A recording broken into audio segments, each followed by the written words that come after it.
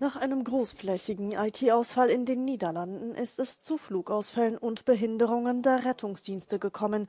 Der Ausfall war das Ergebnis einer Fehlfunktion im IT-System des niederländischen Verteidigungsministeriums. Die leed nu al twee keer ondertussen. Eerst was het tot 12 uur uitgesteld en nu tot 1 uur is het al. Dus we weten niet effectief of het doorgaat of niet.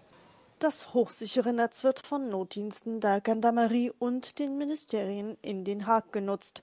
Der Ausfall betraf auch den Flughafen Eindhoven, der sich Einrichtungen mit dem Verteidigungsministerium teilt.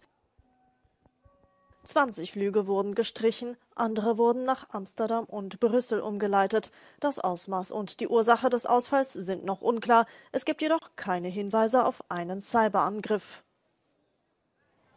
We wijzen daar niet op, maar uitsluiten kan ik op dit moment niet.